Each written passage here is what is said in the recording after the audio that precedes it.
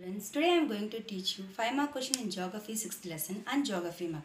Already we learned volume 2 6th lesson map physical geography of Tamil Nadu. Now in the same lesson I will explain how to present the paragraph.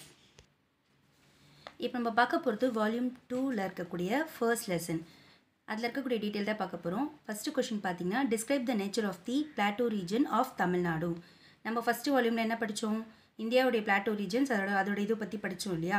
So அதே மாதிரி தான் இதில் வந்து volume டூவில் என்னது? Plato regions of Tamil Nadu பற்றி படிக்க போகிறோம் ஸோ இதோட டீட்டெயில்ஸ் எப்படி எழுதணும்னு பார்த்தீங்கன்னா ஃபஸ்ட்டு வந்து synopsis introductions locations area and shape இதெல்லாம் தான் நம்ம போட்டு ஒரு டேப்லெட் கோலம் மாதிரி ரெடி பண்ணிட்டோம் இல்லையா?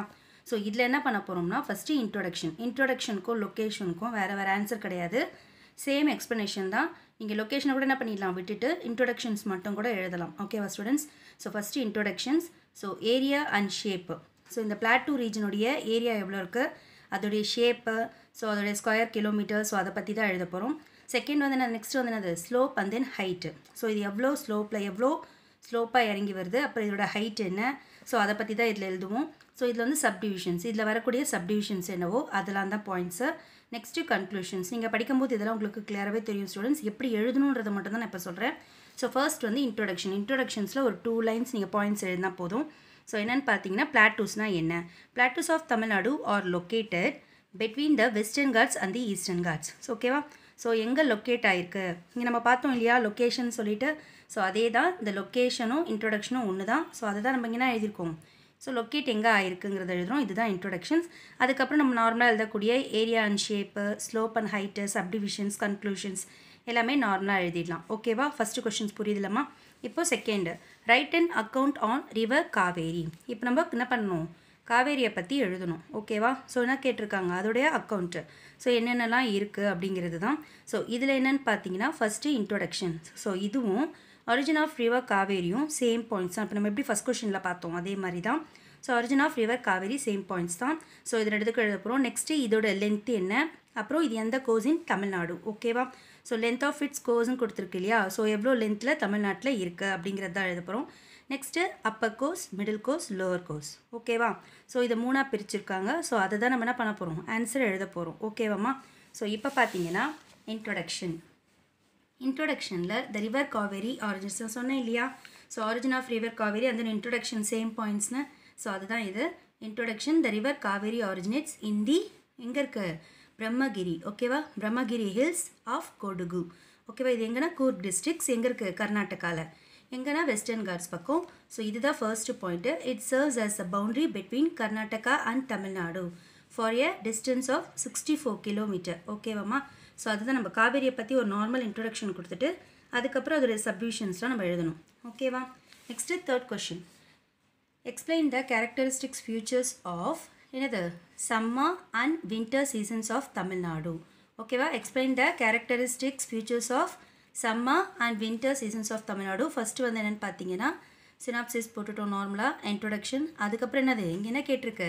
Characteristics features of summer and அது கேட்டிருக்கா வின்டர்னு ஸோ ஃபஸ்ட்டு வந்து எழுதுறோம். Character features of summer season அதுக்கப்புறம் அதே தான் same character features of winter season இதெல்லாம் எப்படி இருக்குது தமிழ்நாட்டில் எப்படி இருக்குது அப்படி அதோட கன்க்ளூஷன் ஓகேவா ஸோ இதுதான் தேர்ட் டீட்டெயில் ஸோ நம்ம ஃபோர்த் டீட்டெயில் எழுத போகிறது what is desertification and write about the areas affected by it in Tamil Nadu ஓகேவா டெசர்டிஃபிகேஷன்ஸ் ஸோ இதை நம்ம என்ன பண்ணுறோன்னா எப்படி வந்துட்டு அக்ரிகல்ச்சராக இல்லாமல் ஒரு டெசர்ட் மாதிரி மாறிட்டு வருது. தமிழ்நாட்டில் அதை பற்றி தான் நம்ம எழுத போகிறோம் அது எந்த ஏரியாலாம் ரொம்ப வந்து அஃபெக்ட் ஆகுது அப்படிங்கிறத எழுத போகிறோம் ஃபஸ்ட்டு இன்ட்ரொடக்ஷனில் வந்து டிசர்டிஃபிகேஷன்னா என்னன்னு சொல்லிட்டு நம்ம ஃபஸ்ட்டு எழுதணும். The process by which fertile land becomes desert ஓகேவா becomes desert due to inappropriate agriculture deforestation and drought it terms as desertification ஓகேவா ஸோ எதனால் மாறுது? அக்ரிகல்ச்சர் அழிக்கிறதுனாலையும் என்னது? ஃபாரஸ்ட் அழிக்கிறதுனாலையும் அந்த இடம் ட்ரை ஆகிறதுனாலையும் தான் நம்மளுக்கு என்னவா மாறிட்டு வருது? டெசிஃபிகேஷனாக மாறிட்டு வருது. அதுக்கப்புறம் என்ன நம்ம நார்மலாக எழுதக்கூடியது? The areas affected by it Tamil Nadu இதுதான் அடுத்த பாயிண்ட்டு ஓகேவாம்மா நெக்ஸ்ட் கொஷின் பார்க்கலாமா? நெக்ஸ்ட் நம்ம பார்க்க போகிறது fifth question bring out the types of distributions of soils in Tamil Nadu நம்ம இந்தியாவில் சாயில்ஸோட டைப்ஸ் பார்த்தோம் இல்லையா?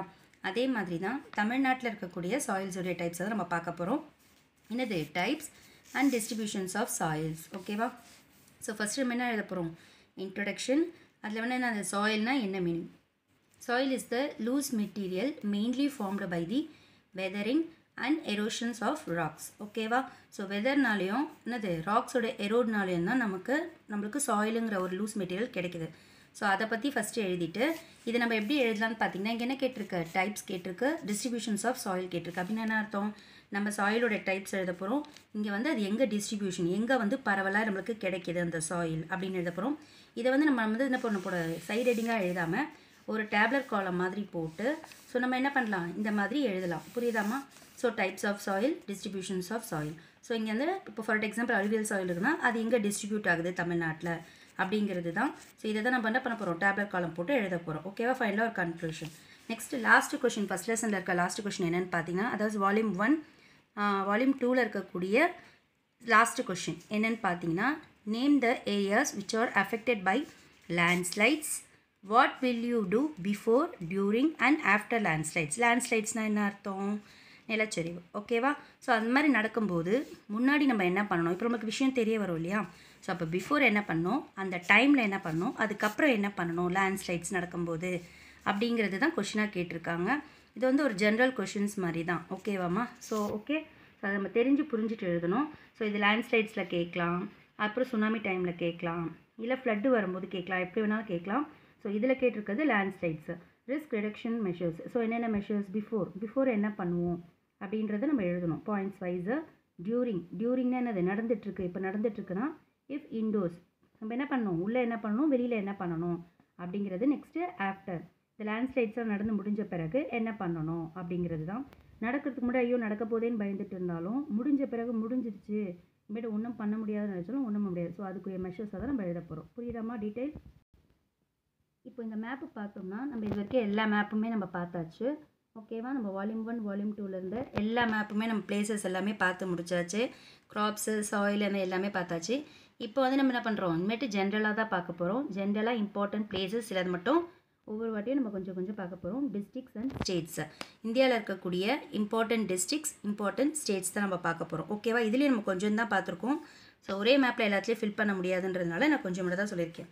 ஃபஸ்ட்டு வந்துட்டு நம்மளுடைய இந்தியாவுடைய டைரக்ஷன்ஸ் நம்ம பார்க்கும்போது நார்த்து சவுத் அப்புறம் என்னது? வெஸ்ட் ஈஸ்ட் கரெக்டாக ஸோ இதன்படி நார்த்து சைடில் என்ன இருக்குது நம்மளுடைய நார்த்து சைடில் ஜம்மு அண்ட் காஷ்மீர்.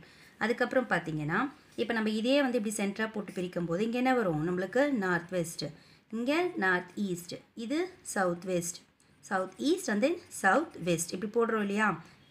போட்டிருக்கோம்லம்மா. ஸோ இந்த மாதிரி தான். ஸோ நம்ம என்ன பண்ண போகிறோம் இப்போது நார்த் வெஸ்ட்டு சைடில் ராஜஸ்தான் இருக்குது ஓகேவா நார்த் வெஸ்ட்டு சைடில் புரியுதாம்மா? நார்த் வெஸ்ட்டு சைடில் ராஜஸ்தான் இருக்குது அதே மாதிரி நியூ டெல்லி எங்கன்னு பார்த்தீங்கன்னா உங்களுக்கு இந்த ஸ்டேட்டு அண்ட் தென் இந்த இது. ஓகேவா இங்கே சென்டரில் நியூ டெல்லி வரும். அதுக்கப்புறம் அப்படியே நியூ டெல்லிக்கு அந்த இந்த பக்கம் பார்த்தீங்கன்னா உங்களுக்கு எந்த பக்கம் வருது? நார்த்து ஈஸ்ட் சைடு ஓகேவா நார்த் ஈஸ்ட் சைடில் உத்தரப்பிரதேஷ். உத்தரப்பிரதேஷ்க்கு அப்படியே இந்த பக்கத்தில் பார்த்தீங்கன்னா பீகார். ஓகேவா ஸோ அதுக்கப்புறம் என்னது? சென்டர் பிளேஸ் இந்தியாவுடைய சென்டர் பிளேஸில் மத்திய பிரதேஷ். ஓகே ஸோ இந்த பாதி பார்ட் முடிச்சிட்டோமா? ஸோ அதுக்கப்புறம் இங்கே பார்த்தீங்கன்னா உங்களுக்கு குஜராத். ஓகேவா மும்பைக்கு மேலே குஜராத். அதுக்கப்புறம் மும்பைக்கு கீழே பார்த்தீங்கன்னா புனே வரும். சரியாம்மா? அதுக்கு அப்படியே ஸ்ட்ரெயிட்டில் பார்த்தீங்கன்னா ஆந்திர பிரதேஷ். ஆந்திர பிரதேஷ்க்கு இந்த பக்கம் பார்த்தீங்கன்னா விசாகப்பட்டினம். இது ரொம்ப இம்பார்ட்டண்ட்டான ஒரு போர்ட் சி போர்ட்டு விசாகப்பட்டினம். அதுக்கப்புறம் அப்படியே மேலே பார்த்தீங்கன்னா ஒடிசா. ஓகேவா? பாரதீப் போடுவோம் இல்லையா? ஸோ ஒடிசா. அதுக்கு அப்படியே மேலே பார்த்தீங்கன்னா கொல்கத்தா. வெஸ்ட் பெங்கால் வரும் இல்லையா? ஸோ அந்த இடத்தாண்ட நம்மளுக்கு சுந்தர்பன்லாம் கூட வரும். ஸோ அங்கே தான் நம்மளுக்கு கொல்கத்தா. ஓகேவா? இப்போ இந்த பிளேஸ் வரைக்கும் கிளியராமா நெக்ஸ்ட்டு பார்த்தோம்னா நம்மளுக்கு ஒரே ஸ்ட்ரெயிட் லைன் தான். ஓகேவா சென்னை பெங்களூர் மேங்களூர். எம்பிசி மேங்களூர் பெங்களூர் சென்னை. இது ஒரே ஸ்ட்ரெயிட் லைன் தான். அப்படியே பார்த்தீங்கன்னா சென்னைக்கு நெக்ஸ்ட்டு புதுச்சேரி அதாவது பாண்டிச்சேரி. அப்படியே கீழே பார்த்தீங்கன்னா நாகப்பட்டினம். அப்புறம் என்னது? இங்கே இங்கே ராமேஸ்வரம் வரும். ஓகேவா ஸோ இந்த சைடில் கேரளா ஆர் கொச்சின். ஸோ இங்கே தூத்துக்குடி திருவனந்தபுரம். ஓகேவா? ஸோ இது திருவனந்தபுரம்ன்றது கேரளா. ஸோ தூத்துக்குடின்னு தூத்துக்குடி சொல்லுவோம் இல்லையா? தூத்துக்குடின் இது இம்பார்ட்டண்ட்டான ஒரு சீ போர்ட்டு இந்த கடலோர பக்கத்தில் இருக்கிறது எல்லாமே சீ போர்ட் தான். நாகப்பட்டினம் புதுச்சேரி சென்னை விசாகப்பட்டினம். ஓகேவா? ஸோ இது எல்லாமே கொஞ்சம் இம்பார்ட்டன்ட் பிளேஸ் இதை பார்த்து வச்சுக்கோங்க. நெக்ஸ்ட் கிளாஸில் வேறு கொஞ்சம் பிளேசஸ் பார்க்கலாம். And this is the end of this class. As I told you earlier, underline the important and attend every questions neatly and properly. Thank you students.